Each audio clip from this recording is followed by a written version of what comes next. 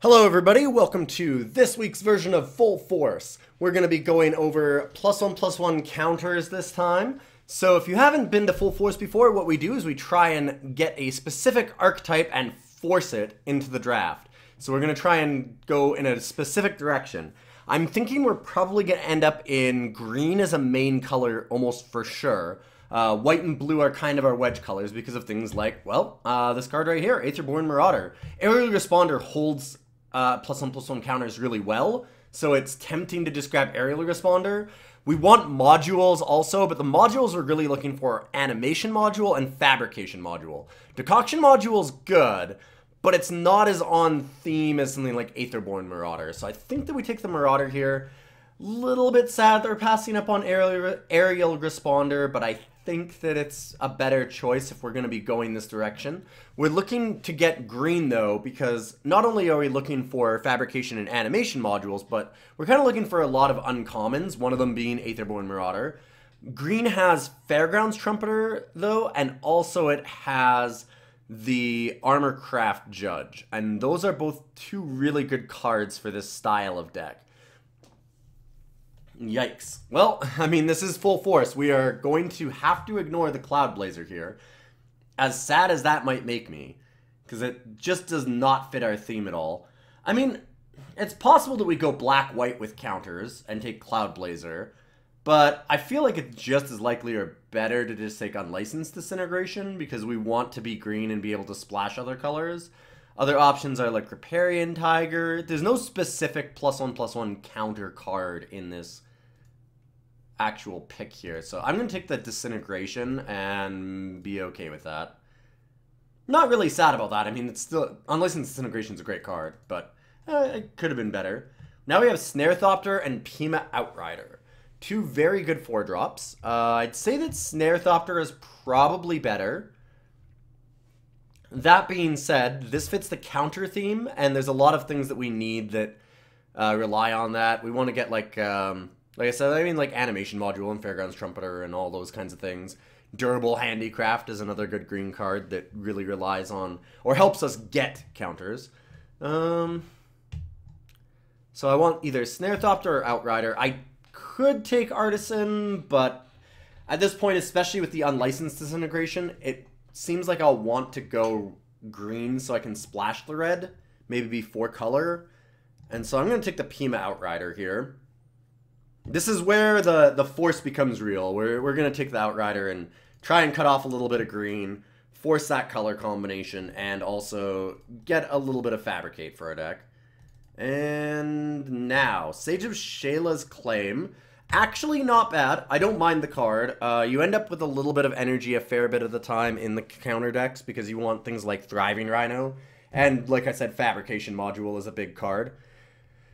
So it's not bad to take the Sage. There's also just not a lot of really good 2-drops. Other options are, say, Metal Spinner's Puzzle Knot. I could take that. There's nothing too exciting. I'll just take the Sage. Sage seems acceptable. Another Sage. There's also Maulfist Squad, which does come in with a plus one plus one if I want. So I might take the Maulfist. The issue there is that that is our third four drop, and we're only five cards deep. So 60% of our deck is four drops at this point. That's a bit of an issue. I think it's enough better than Sage that I'll take it here. It also goes with our theme. Foundry Screecher, Prophetic Prism, and Rush of Vitality. I think that I want the Prism. I really like Foundry Screecher, but Unlicensed Disintegration is a powerful card. We're also somewhat likely to want some white cards. So Prophetic Prism seems pretty important. We want to make sure that we get our mana fixed. Surprising to see a Prophetic Prism this late, actually. The card's just awesome. It goes in every deck. Alright, well, there's another 4-drop, which I don't need. There's also a Fragmentize, which, if I end up playing a little bit of white, Fragmentize is really good, so I'll just take it here. There's really nothing else that I'm missing out on. Larger Than Life is not a card that I care about, so the, the Fragmentize seems fine. We have Mind Rot, Morbid, Eager Construct. I guess that it's Eager Construct. More two drops is fine. Herald of the Fair is bad, and I mean, it's no real reason for us to go into white. just for a Herald of the Fair. The card's really terrible. Not had anything good come out of it. Wow, that is a stupid late decoction module. How did that get this far? I'm pretty sad about that, actually. We could have had a really cool, like, Cloud Blazer decoction module, aerial responder deck. Man, that is weird to see decoction module so late. I'm really happy to have it. This is a deck that doesn't have a great use for it yet, but we can certainly find things like fabrication module and start using it, or thriving rhinos. Any, any like thriving rats and rhinos and stuff become a lot better when we have a little bit of energy lying around. Same with like uh, Die Young. If we can get Die Youngs later, then they, they come a little bit better. I'll take the Live Fast there. I'm not excited about the card, but if we have a minor energy sub-theme, it certainly makes sense. Uh, none of these cards really matter. I'm actually going to take the Mountain. This is a league, so there's now no longer 8-4 uh, Qs as we know them. So that's what I used to do. Oh man, Magic keeps on resizing this window, sorry. Uh, there's no longer 8-4 Qs, and so I'm not going to necessarily be playing against the same people that I'm drafting with, so hate drafting becomes less and less important even than it was before. It's probably a better idea to just let my opponents know that, like, go into red or blue I would like you to take these cards because then we can just keep our way clear. Welding Sparks is awesome, but there's a Fairgrounds Trumpeter, and that's a card that I desperately need. Wisp-Weaver Angel, also just a bomb. The card's really insane. Double white, probably not happening. I don't think I could play that. Welding Sparks would be a possibility. I could actually see splashing for that. But, I mean, Trumpeter is great, and we have reason to use it.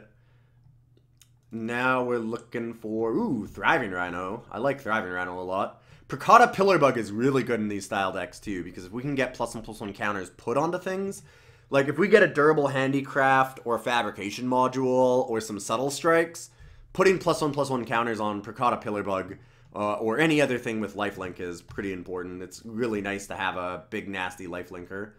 And Speaking of plus one plus one counters, Lawless Broker does work for that theme. Some good blue cards, Glimmer of Genius, Gear Seeker Serpent. Dynavolt Tower is sweet, but I don't know that we have enough to actually use it.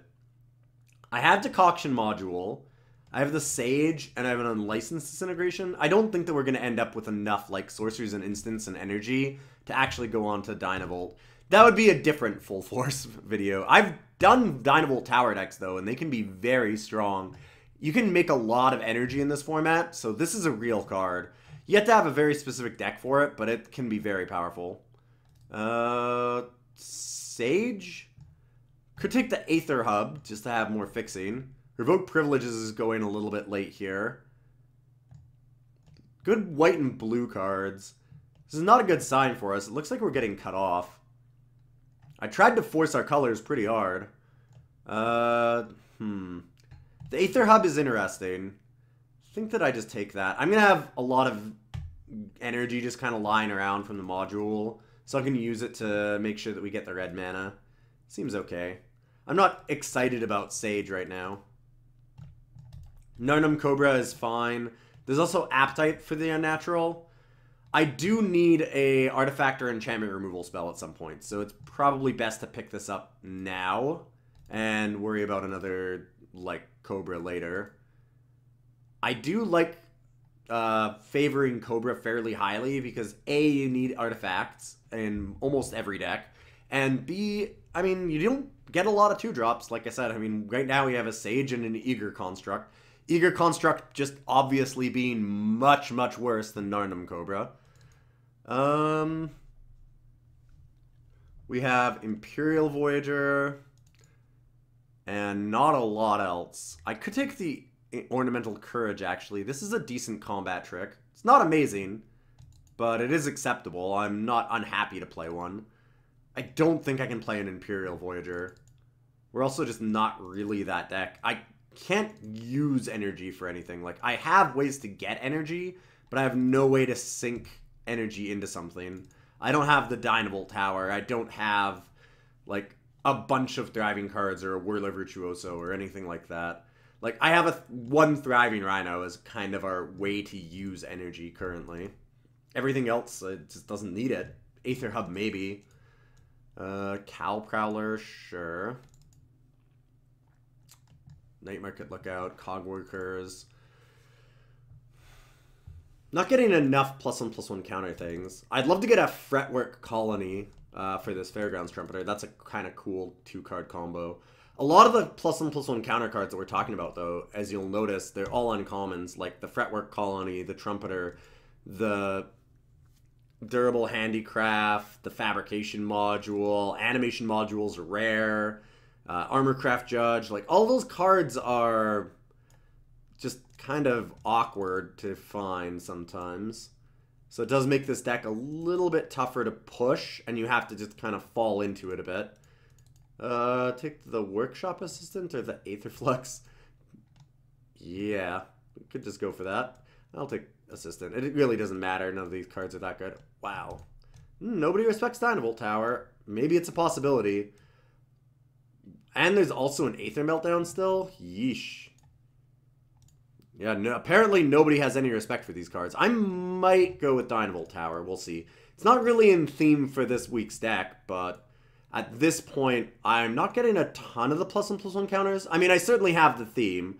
I have a Marauder, I have a Fairgrounds Trumpeter, uh, I have the Thriving Rhino, so there's some stuff that I can do with it, no question. But I don't know. I mean, having an energy sub theme could be fine. We could go with the Dynavolt.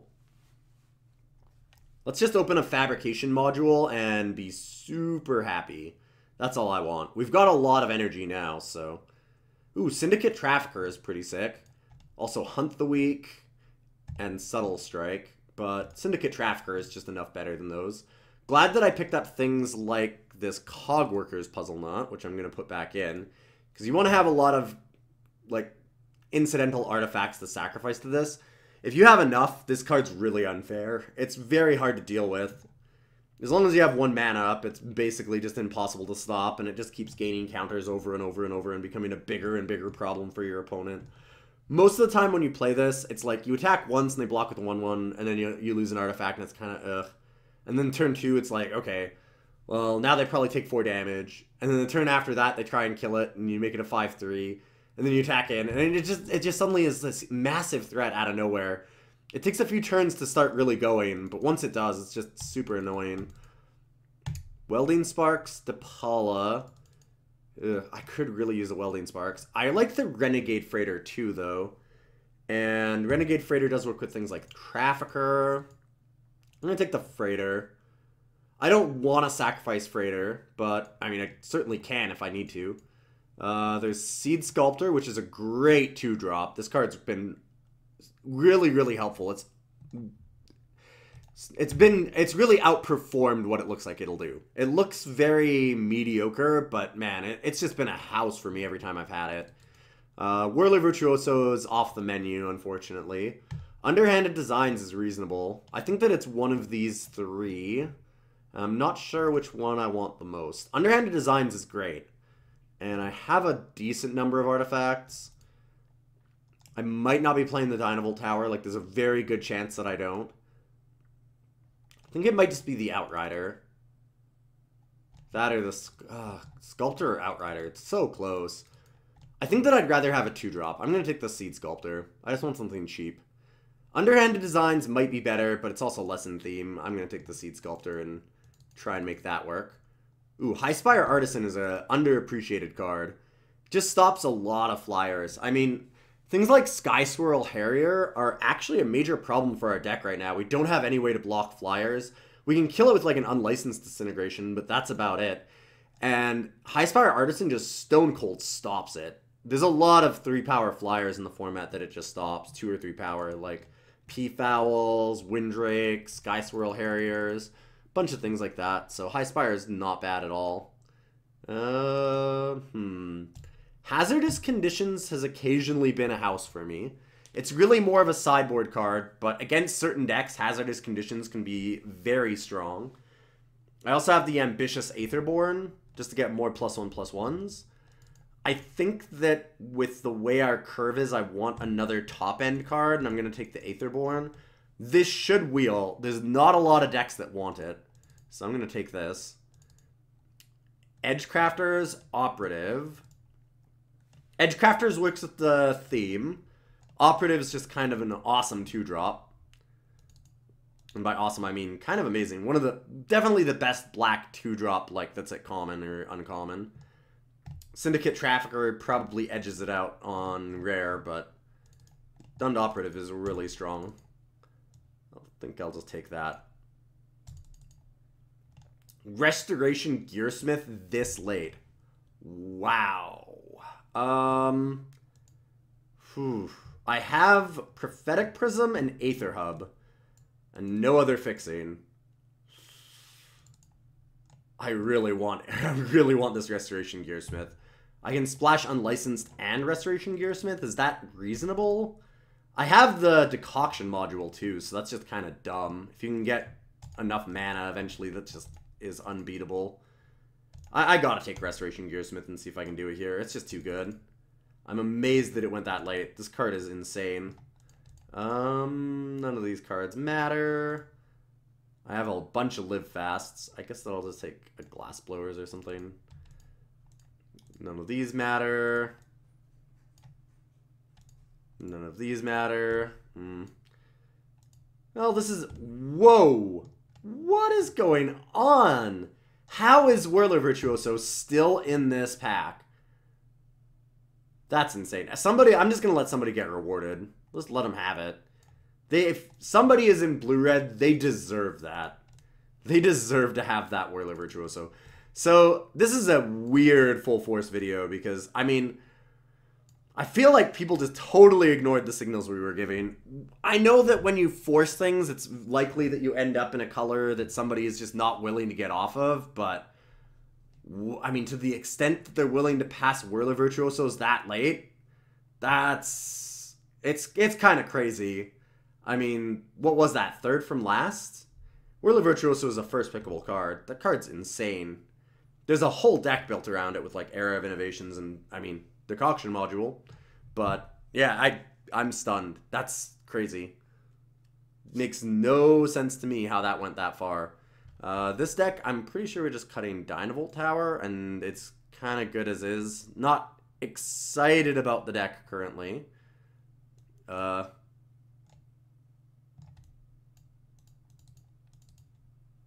huh.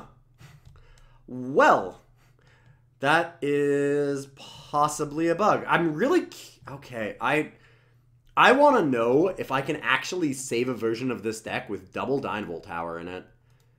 I don't want to. I'm not going to send it in as.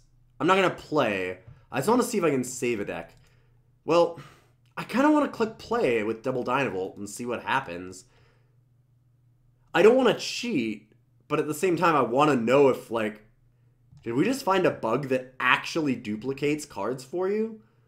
If you're drawing a card into your sideboard as the time runs out, do you just straight duplicate it and get it for your actual deck? Because that's really busted.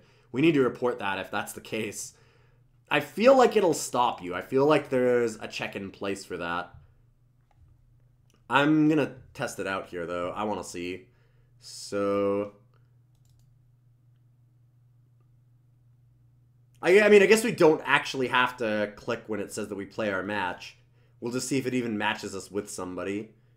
So let's just add lands and then see. Because we we don't really care. This isn't the actual deck right now.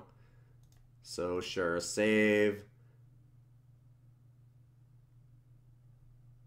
Okay, deck is not legal in this format. So it's it's realizing that we have too many Dynavolt towers. Still very funny.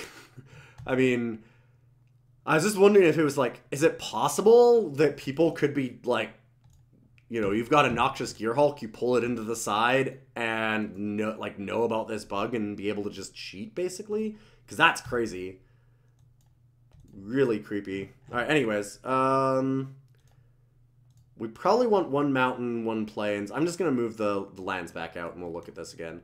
So we've got, what is it gonna say?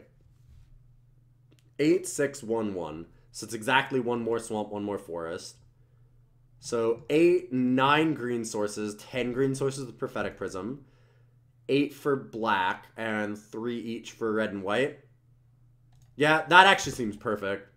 Magic did the right thing. I don't think our mana is that bad either. We do have only two double colored cards. So it's really not that bad to splash these. It's not amazing, but it's acceptable. Decoction Module sadly didn't like do a whole lot for us, but it seems okay. I, it's still a good card. Like just on its own, it's kind of nice. There's a lot of times where you can like attack in and just leave up four mana for Decoction Module. If there's a trick, then you just pull your creature back, play it again. We can get extra energy for the thriving cards that we have. We don't need a lot of energy, but a little bit here and there is okay. And it might scare our opponent too, because they've always got to wonder what you're going to do with all of it. Uh-oh. Wait, what? So now it actually won't let me say... oh, no. So even though the Dynavolt towers are in the sideboard... Remove from sideboard. Nope, that doesn't work. Um... Huh. Can I hide it? And that shouldn't work. Interesting. Well, I'm to have to restart Magic, so give me one moment. Well, apparently restarting works. We added back in the lands. 8 forests, 7 swamps, 1 and 1. Everything's good. We saved. We're ready to play, and I will see you for round 1.